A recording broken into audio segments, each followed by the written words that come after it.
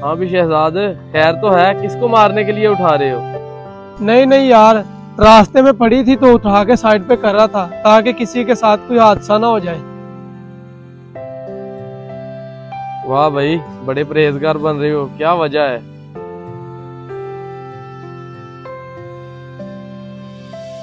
नहीं यार मोइन इसमें परहेजगारी वाली कौन सी बात है? इस ईंट के पीछे बहुत दुख भरी कहानी है। दुख भरी कहानी? क्या मतलब? मैं समझा नहीं। अच्छा सुनो फिर हुआ कुछ यूँ था।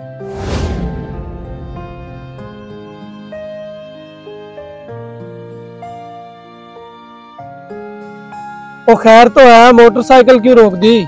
यार ये रास्ते में ईंटें पड़ी हैं ये उतर के उठा के साइड पे कर दे। किसी के साथ कोई हादसा ना पेश आ जाए। अबे यार ये खिदमत खलक बाद में कर लेंगे। हम पहले लेट हो रहे हैं बंदा चला जाएगा। मगर यार ये तू अगर मगर छोड़ हमने वापसी पे यही से गुजरना है वापसी पे उठा लेंगे तो चल चल।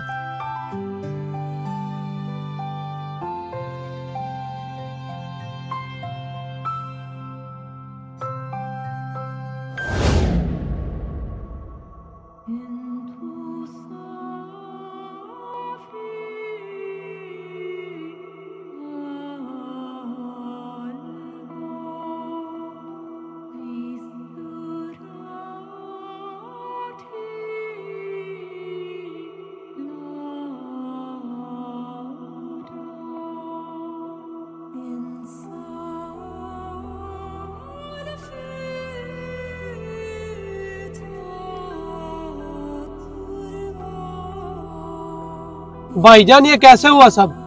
भाईजान ये साथ ही मेरी ज़मीन है। मैं इधर खड़ा हुआ था। गाड़ी गुजर रही थी ये साइड से निकालने लगा। इसका ईंट से टायर स्लिप हो गया और ये बेचारा गिर गया। ओहो रेहान यार जल्दी से रेस्क्यू को कॉल कर। हाँ यार करता हूँ अभी। यार इसकी तो नबज ही नहीं चल रही।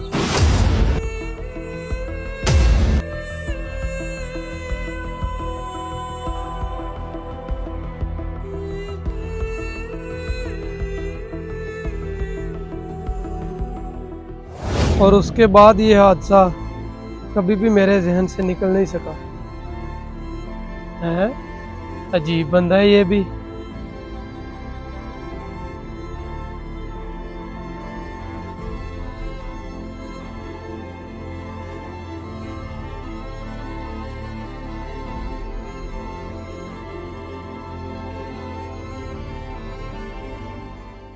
अस्सलाम वालेकुम फ्रेंड्स, उम्मीद करता हूँ आपको ये वीडियो पसंद आई होगी। अगर पसंद आई है तो वीडियो को लाजमी शेयर करें। आपका एक शेयर किसी की जान बचा सकता है।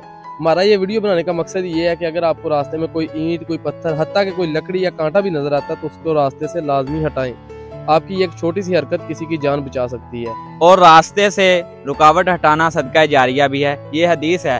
एज मुसलमान हमारा फ़र्ज़ बनता है ये। उम्मीद करता हूँ आपको हमारी बात याद रहेगी और आप इस पर अमल ज़रूर करेंगे। खुदा।